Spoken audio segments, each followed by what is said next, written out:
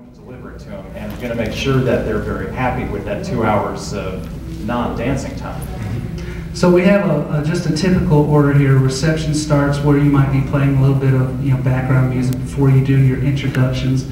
Uh, a lot of times, particularly in the South, people want a blessing before they sit down for a meal, so they do that. Um, during during the the uh, dinner period, a lot of times they want to do toasted cake cutting, which is a great uh, strategy in terms of keeping everybody in the room.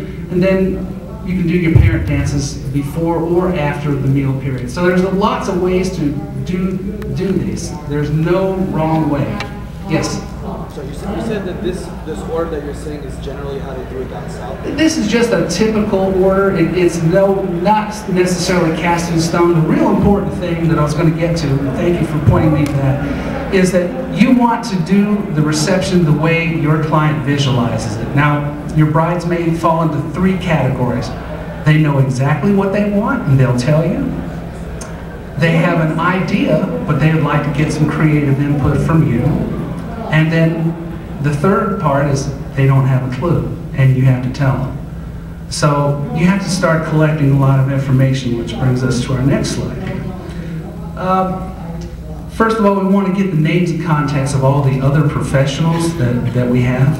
And Yes. I'll tell you exactly why that's very important. Um, when you make contact with your client and they tell you, okay, we have a reception that's going to go from 6 to 10, the first thing you want to do is understand your landscape. We have a slide that's going to show that.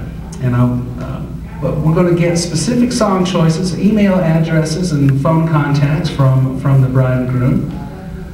Make sure that we know the name and contact of the venue we're going to play. And that's going to be a very important part of your networking and communication with your other vendors.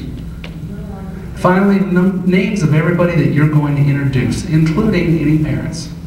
And make sure you don't get the names, but you understand how to pronounce those names too. The other important thing is to find out when your other vendors are starting and stopping service, and probably the most important one there would be your photographer. Um, I don't know about your part of the country, but in my part of the country, we have a lot of packages, and photographers will book between four to six hours of time, which means they are bridging the ceremony at the church and the reception, which means that they may be leaving before the end of the evening at the reception where you are playing. This directly affects your ability to schedule, and you have to know this information.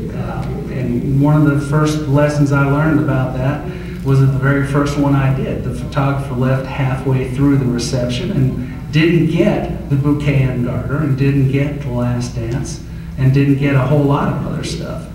Uh, if I had known that, I would have front loaded this reception with a lot of those activities if that's what they wanted. And in some cases, they're paying the photographer way more than they're paying us, which is unfortunate, and hopefully something that you will be able to do to elevate your game by providing these services. But the key is to make sure that you understand the landscape. Well, all your other vendors are going to be contracted to do their thing from a certain point in time to an end point. So if you know all that information, it really helps you out quite a lot. Okay. Go ahead. Next thing we have is specific song choices, and it goes back to the planner and also what does the bride want? Is there going to be a father-daughter dance? You absolutely must have the song. Of course, there's going to be a first dance. 98% of all wedding receptions I've ever done has had one. I've actually had two in the last five years that they did not want it. So I found that rather interesting. And is there a mother-son dance? Are there any special parent dances? Did your bride and groom go to college and attend a fraternity and sorority? And are they going to have any of their brothers or sisters? Because there may be a specific fraternity song or sorority song they used as their theme and want to play that at some point during the evening. Make sure you do a thorough job of finding out what their hot buttons are as far as their specific song goes and get the songs. And if it's early enough and it's something incredibly oddball, don't be afraid to ask your client, do you have a copy of that? I've looked around on the internet, don't see it. Do you have that in something you can provide to me? you may want, you definitely want to get the name of the person that's giving a blessing. If you're in the Northeast and it's a full-blown Catholic wedding, chances are you may have someone there from the church after they do the receiving line that wants to bless the food. In the Southeast, it's going to be a minister, it's going to be a Baptist preacher, it's going to be some sort of church official. Sometimes you may discover that the person that performed the ceremony and that's doing the blessing may be a relative of the bride and groom. We get a lot of that in the Atlanta metro area and also up in North Carolina. Out west, um, there are definitely new age religions, and somebody may have a very special blessing that they would like to do before any food is served at that particular occasion. Also, get the names of the parents. If your bride and groom would like them to be recognized in some special way, make sure you have that information available, and you generally collect that at the same time you're getting the wedding party information. They may come in as part of the big introduction, but if you have elderly parents that are being dealt with, the bride and groom may choose to instead just have them stand up at the table or just introduce them and everyone claps for them. And also, ask your bride, ask your groom, how do they visualize the day? What did they dream of when they were kids, wanted to get married? What was running through their mind? How did they see everything? Try to pull them out of it. It's an interview process on their end to find out about you, but it's also an interview process on your end to find out as much information as possible about what is running through their mind. The more stuff you can get from them, the less chance you have of having some weird oddball thing thrown at you the day of the reception. Now, along those lines, one of the things that can happen when you ask them, well, how do you visualize the day? They get the deer in the headlight look and they don't really understand what you mean. So get a little specific. Well, after you get introduced, do you want to sit down and eat right away? Are you going to be hungry or do you feel some pressure to get the dance floor open and do your first dance?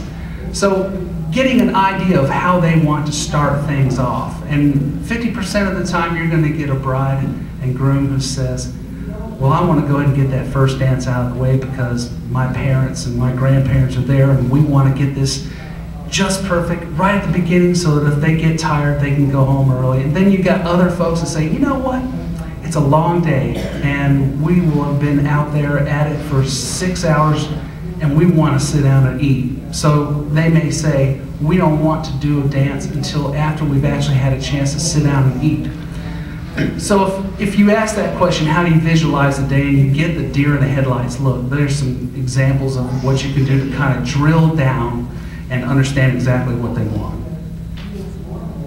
Okay. Collecting information, finding out who's going to be introduced. Um, I don't know about you, but um, for those of you who've done weddings, how many of you have had a wedding where you've had uh, either deceased parents or you've got what I like to euphemistically call extended families where you have multiple parents, step parents. Okay, this can be really touchy. The very first wedding I ever did, I had a, an ex-mother come in and she was not very happy about anything and she was paying for a part of it. She marched right up to me and said, I don't like the music that's being played put this CD in, and it was all Celtic music. And of course, after 30 minutes, everybody was just snoozing. So what you need to do is understand that landscape and ask your client, how do your parents and your step parents feel about being introduced and walking in? And you may find out that there's a lot of tension there. And, and your job is to run through that and make absolutely sure that everybody's happy about that and don't get caught in the middle. Uh, sometimes you can get caught in the middle of these things and they want you to make the decision. No, don't do that. You ask them. I will, you tell them, I will introduce them any way you want, but I want you to talk to them and see how they want to do this. And more often than not, you'll find that 50% of the time, the exes are okay with coming in. Uh, sometimes they